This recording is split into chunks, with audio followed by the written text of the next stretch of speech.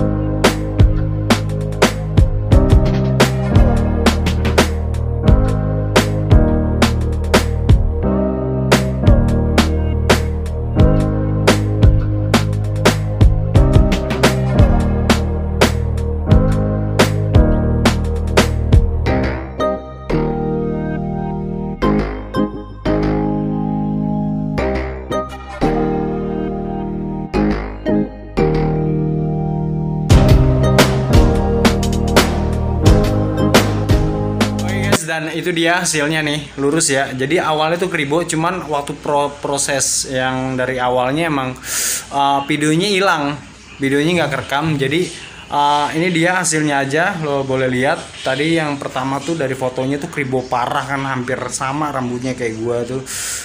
Dan ini dia hasilnya dan thank you banget buat Bro Jonathan ya yang udah percaya sama RBK Dreadlocks dan Jangan lupa uh, setelah nonton ini di like, comment, and subscribe channel gue RBK Dreadlocks. Jadi salam Dreadlocks Indonesia.